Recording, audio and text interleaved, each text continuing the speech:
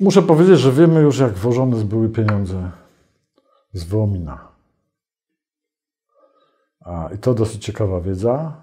I wiemy, gdzie były włożone, jakie instytucje, także medialne, były zakładane za te pieniądze. To wszystko będzie się rozwijało w następnych komentarzach, bo myślę, że dowody będą płynąć.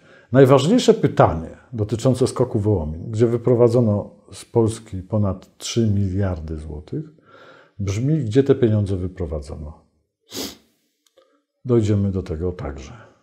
Dojdziemy, bo mam tutaj kilku współpracowników, którzy e, wraz ze mną poszukują odpowiedzi na e, te pytania.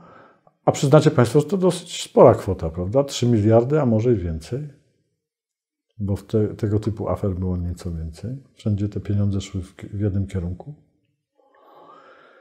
E, I wszystkiego nie da się tłumaczyć tylko WSI, oficerami, z tajnymi służbami. Prawda? Panowie politycy, także z prawicy. To wszystko trzeba będzie e, ładnie opowiadać przed wyborami, kiedy wyciągniemy Wam rachuneczki.